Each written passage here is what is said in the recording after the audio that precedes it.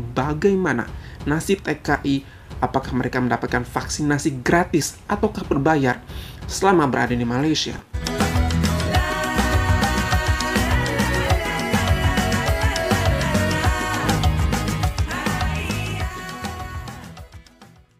Hi everyone, welcome back again to my channel and this is About Sastra. Yay! Okay everyone, thank you so much for clicking this video to stop by to watch me now and today I'm going to have another reactions video. Yes, as always, seperti biasa. Dan video yang akan aku reaksikan kali ini berdasarkan rekomendasi daripada kalian, terutama teman-teman yang berasal dari Indonesia. To all my Indonesian friends, to all my Indonesian viewers, this recommendation comes from you yang bertanya kepada saya. Karena memang mungkin mereka tahu saya dekat dengan Malaysia. Karena saya sering mereaksikan video-video tentang Malaysia, jadi mereka bertanya kepada saya tentang bagaimanakah nasib para TKI Indonesia saat ini yang berada di Malaysia khususnya. Apakah mereka juga mendapatkan fasilitas vaksinasi? apakah pemerintah Indonesia terlibat dalam vaksinasi ataupun pemerintah Malaysia memberikan vaksinasi kepada para TKI Indonesia. Apakah gratis, free, or they need to pay for certain amount of money? Nah, itu yang teman-teman Indonesia ingin tahu. Lewat video ini aku mencoba untuk menjawab hal tersebut. Apakah para TKI Indonesia yang ada di Malaysia mendapatkan fasilitas vaksin juga? seperti penduduk Malaysia pada umumnya atau mereka boleh mendapatkan vaksinasi namun they need to pay for certain amount of money. Nah, video kali ini akan menjawab, aku belum nonton, tapi video kali ini aku harap bisa menjawab pertanyaan teman-teman dari Indonesia semua. Jom kita tengok videonya bersama-sama. Satu, dua, tiga. Oke, videonya ini berasal dari salah satu TKI Malaysia, TKI Vlog namanya, dan berjudul daripada video ini adalah TKI Malaysia mendapatkan vaksin gratis. Guys, buat kalian bertanya-tanya, apakah TKI Indonesia mendapatkan vaksin, apakah berbayar atau gratis? This is the answer. TKI itu sendiri memberikan video ini dan menyatakan bahwasanya mereka mendapatkan vaksin gratis. Wow! Seperti apakah kita lihat ya? Satu, dua, tiga.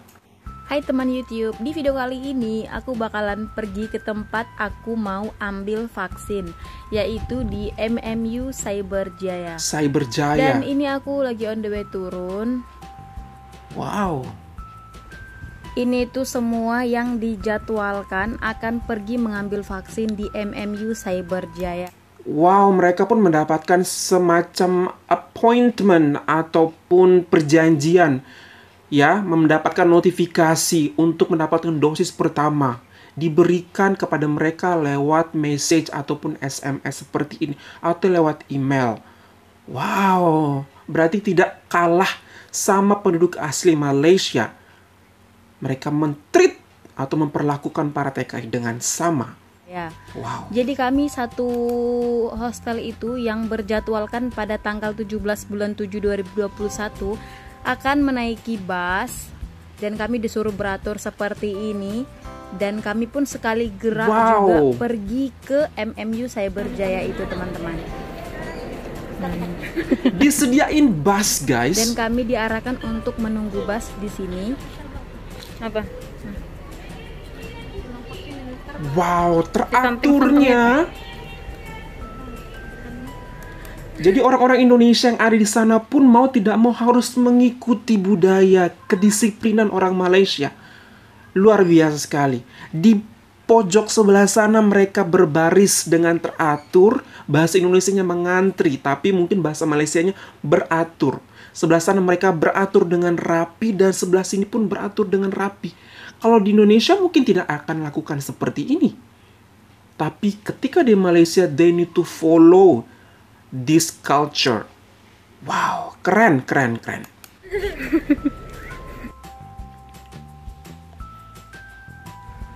Dipastikan untuk memakai mendapatkan notifikasi dan membawa sanitizer, pen, IC atau tanda pengenal dan pastikan sudah sarapan ya teman-teman sebelum pergi mengambil vaksin.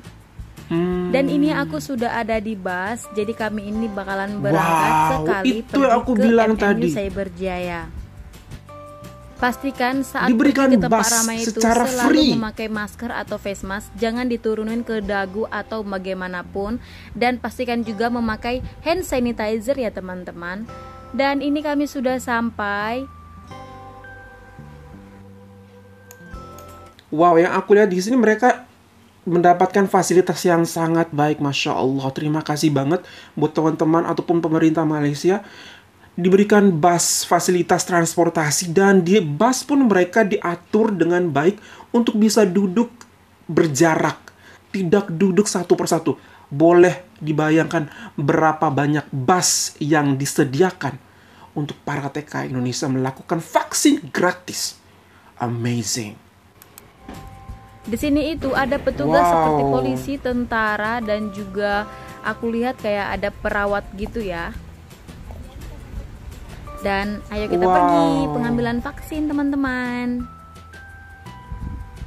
Tempatnya Nah, besar ini itu sekali. di MMU Cyber Jaya. Di sini kami bakalan disuruh beratur kayak gini. Wah, banyak banget ya yang pergi ambil Wow. vaksin.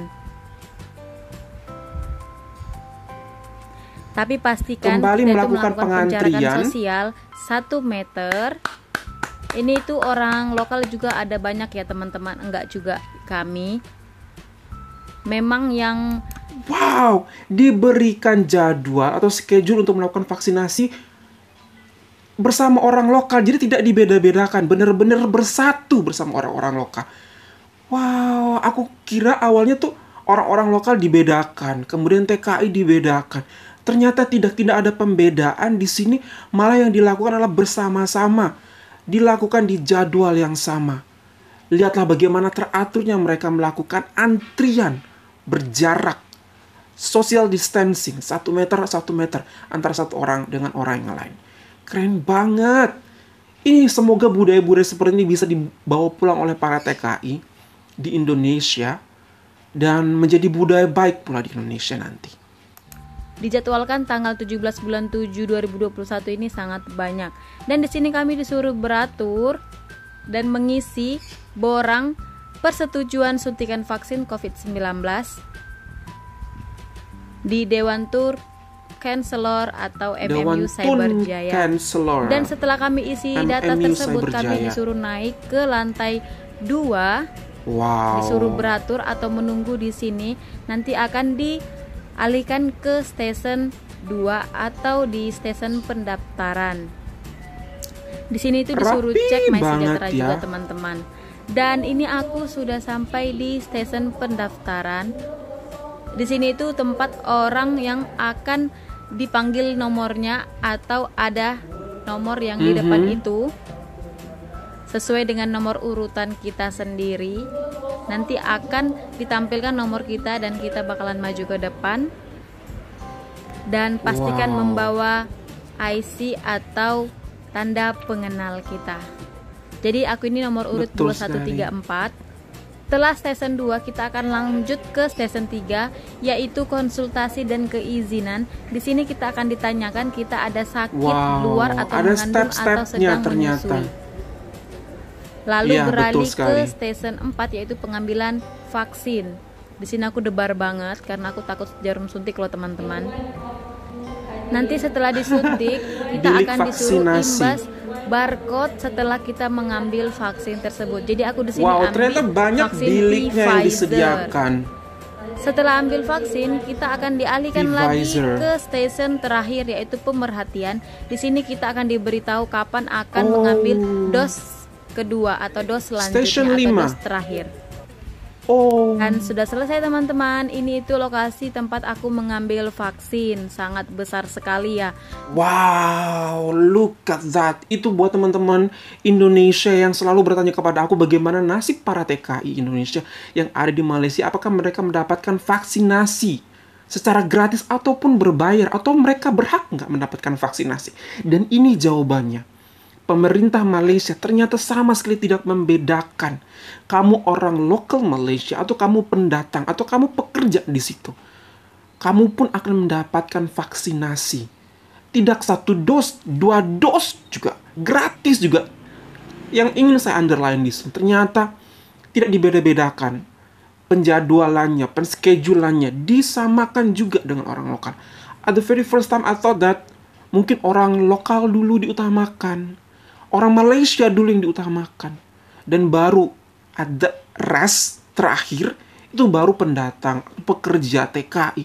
Ternyata tidak dilakukan pada hari yang sama, di tempat yang sama, pada jam yang sama dengan orang lokal, orang asli Malaysia. Wow, keren banget. Aku kira tuh mereka pun akan melakukan spesifik gitu loh. Karena memang orang Indonesia dan akan dilakukan spesifik di KBRI. Di Kedutaan Besar Indonesia yang ada di Malaysia. Tapi tidak benar-benar melakukan bersama-sama dengan orang tempatan atau orang lokal Malaysia. Di gedung yang besar, di gedung yang bagus pun gitu loh, maksud aku. Jadi tidak benar-benar tidak bedakan di karena orang Indonesia, karena orang luar ya jadi mungkin di tempat yang lebih kecil atau tempat yang lebih uh, spesifik tapi tidak benar-benar luar biasa sekali. Salut kepada pemerintah Malaysia yang benar-benar sangat berniat baik. Tidak hanya kepada masyarakat Malaysia, tapi juga kepada masyarakat Indonesia yang ada di situ. Yang padahal ketika dia balik ke Indonesia, mungkin dia akan merasa sangat susah untuk mendapatkan vaksin. Pemerataan vaksin Indonesia masih sangat susah karena ada beberapa orang yang memperjualbelikan vaksin ini dan masih mencoba untuk mencari keuntungan di tengah kondisi-kondisi seperti ini. Thank you so much dan ini akan menjadi berita baik banget kepada teman-teman Indonesia memiliki keluarga yang ada di Malaysia, khususnya buat mereka yang bekerja di Malaysia. Jangan khawatir. Mereka akan diperlakukan dengan sangat layak dan sangat baik. Okay guys, that's all for today. Thank you so much for your kind attention. Hopefully that this video will bring a good news for all of you, especially my Indonesian friends. And if you find this video good, don't forget to hit the thumbs up. And if you're new to this channel, don't forget to hit the subscribe button. Yes, sekali lagi, sebagai orang Indonesia, sebagai perwakilan orang Indonesia, kami mengucapkan terima kasih banyak. Malaysia boleh. Sungguh boleh. Much love from Indonesia. Bye guys.